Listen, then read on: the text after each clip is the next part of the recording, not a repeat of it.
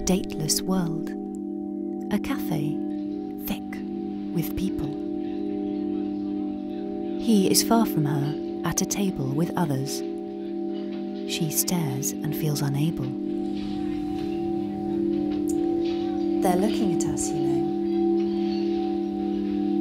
What do they see? Two people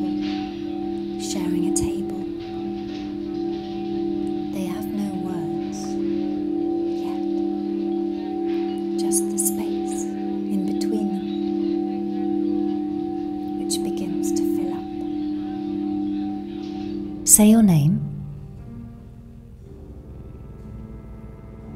Iris Brunette. Will you tell me your name? 2 pm. The power surges begin. You pick up the phone, and a voice says, Hello? Who is this? What's your name? What do you say? Daphne. Daphne. The voice continues, I'm waiting for you in the seafood restaurant across the street. I can see you now.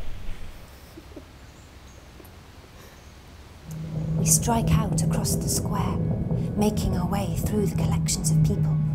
I turn to Smiley. She stops.